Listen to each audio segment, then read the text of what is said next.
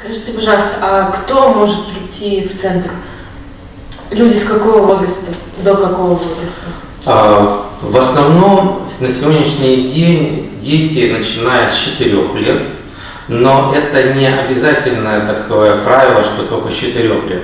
Приходят и трехлетние дети. Практика показывает, что дети включаются в занятия где-то начиная с 8-9 лет. И они уже начинают понимать, что мы хотим им сказать. А, детей нужно показать. Дети бывают э, совершенно разные по подготовленности, по восприятию информации. Есть дети и в 3 года могут заниматься, есть дети, которые в 10 лет не рекомендуется заниматься. Поэтому в первую очередь необходимо просто вести напробное занятие. Я бы сказал, что э, мои рекомендации детей, начиная с 6 лет, и 6 до 10 это в большей степени гимнастика, это хореография, это какое-то ОФП, подготовительная часть.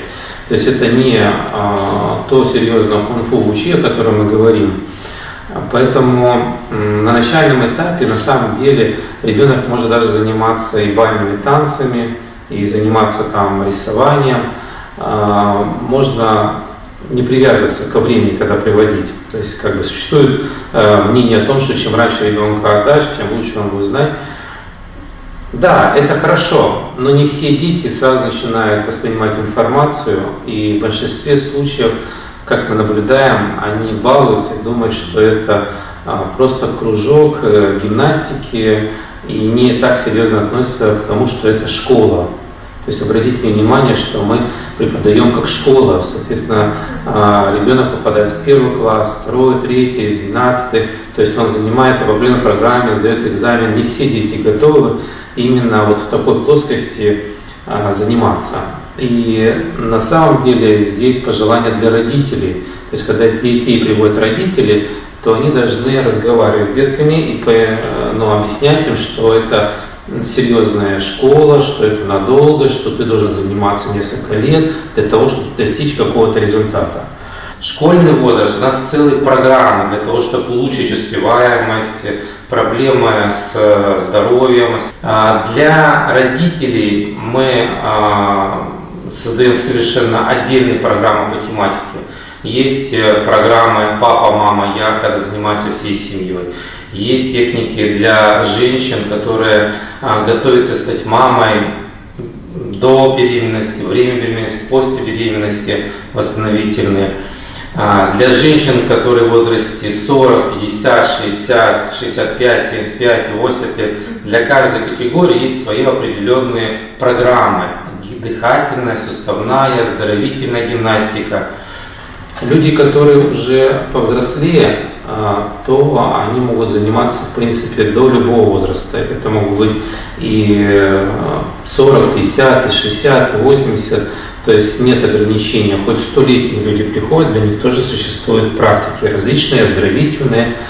Ну и, конечно, для мужчин э, это отдельные классы, в которых еще присутствует боевое искусство, потому что мужчины в большей степени воин, и поэтому там кроме оздоровительных практик есть, конечно, Э, боевые искусства. Категория мужчин – это любая, 20, 30, 50, 70, 80 лет. То есть нету какого-то определенного ограничения. Поэтому по тому, как я вот вам сейчас рассказываю, практически любая категория населения с любым уровнем здоровья, мужчины и женщины могут заниматься у нас. Вот вы сказали, мужчина хочет быть воином, а для женщины эта программа существует? Да, а, скажем так, что есть тип женщин, которые в душе воины тоже, это как амазонка. И для них существует специальный раздел ногами. Ногами – это женское кунг-фу. Мы об этом будем говорить отдельно. О каждом направлении, которое преподается, мы расскажем отдельно. Но вы должны понимать, если мы сейчас говорим вкратце, что э, существуют техники для мужчин и для женщин. Они очень существенно отличаются.